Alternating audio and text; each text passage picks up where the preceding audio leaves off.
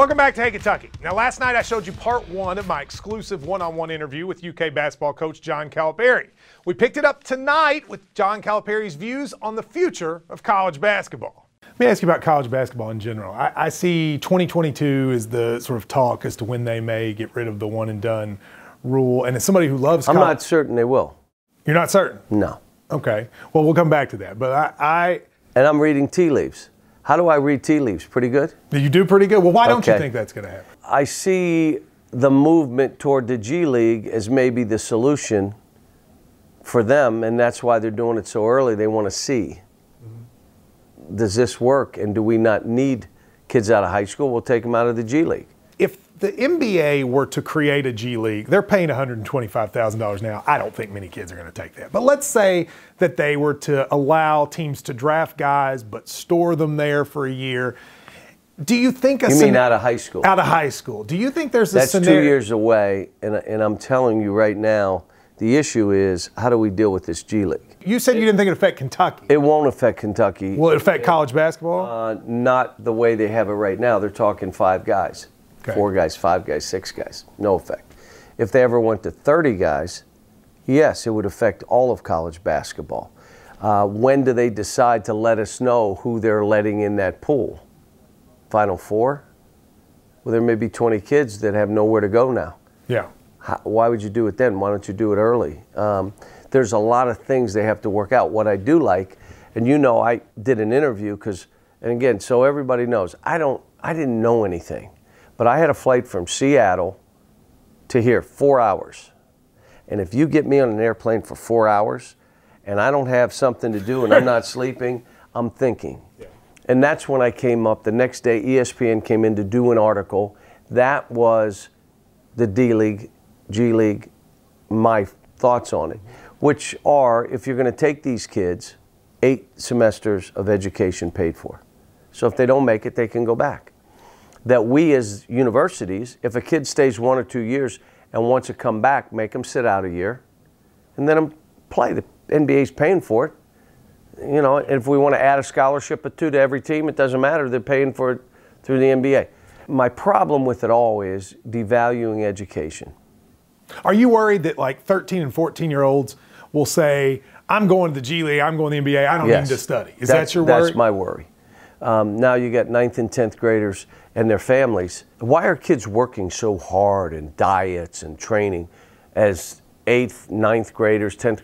Because them and their families see what's at the end of the road. Michael Jordan made a million a year. Karl Towns is going to make 30 million a year. So is Anthony. So is John. I mean, I can go on. 30 million a year. I didn't say 30 million. I said a year. Michael made 1 million a year. Why would we devalue education? I say this to everyone that wants to hear. The NCAA had the highest graduation rate of college basketball players in the history of our sport last year. Are we going to go and just for society, don't worry about academics? It also seems like they're trying. I've always thought that it's almost a solution looking for a problem. I mean, it's a handful of guys like that you're talking about. Why do you want to blow up because entire sport? Kentucky's benefiting by this, and how do we slow them down? And I say it doesn't matter. We're going to eat first, whatever rules. Make the rules for the kids.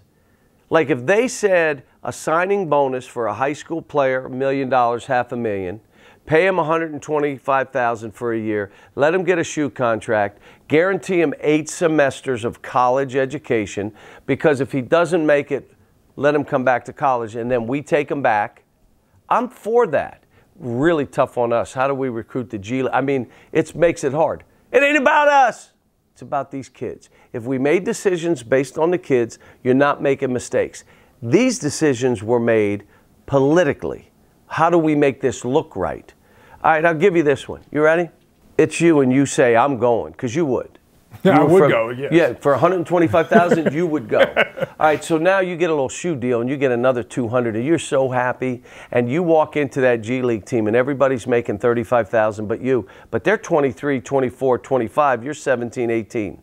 What are they doing to you? Well, they're going to try to beat you consistently. To death. Yeah.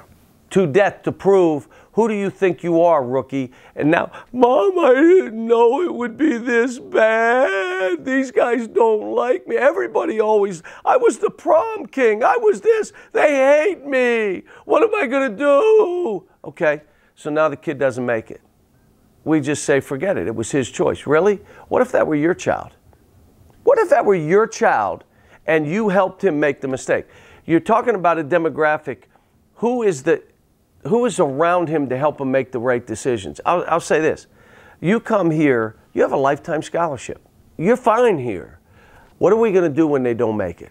How are we going to take care of them? What is our comments going to be? Well, are you going to let them back on a campus or did you not want them on a college campus right away? We don't want them here anyway. We're certainly not taking them later. Don't you think that's part of it, though? At the core, some of these people some people who criticize one and done just think these kind of kids don't shouldn't be in college. Okay, I, so, that's what I. So think. let me just say this. You know, I think kids should be able to go out of high school to the NBA. So if they make a mistake, it's they get fifteen million dollars, twenty million. I'm good with that. But one and done. Here's what it's done. There's not been a whole lot of mistakes. No. So we are the first line of evaluation for these NBA teams. And you think the NBA teams would want that? And you ready? And here we go, and we train them, we feed them, we do everything at a high level, professionally doing it, diets, training physically, all the stuff. You get the gap year to grow up and be a young man before you move on to this man's world. Tell me what's wrong with that? All right, well, it's what's wrong with it is, you know, those kids don't want to be in school. What, who? What do you mean? You talking Brandon Knight? Are you talking to guys, John Wall, uh, Julius Randle, Dakari Johnson, Brandon Knight, who have come back and already started?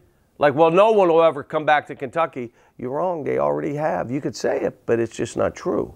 So now, tell me what has been wrong. What's wrong is Kentucky's benefiting and other people don't want. So now they say, well, you you have such a benefit. Really? Who's won the national title the last couple years? Villanova. Did they do it with one and done players? No. Did North Carolina do it? With, no. So why are you saying that?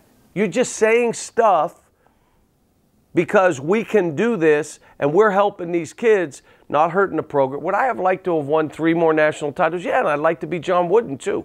I mean, it's just this thing has worked for everybody. Would like to win more, yeah, but I'd also like to have guys drafted higher. Thanks to John Calipari for taking the time.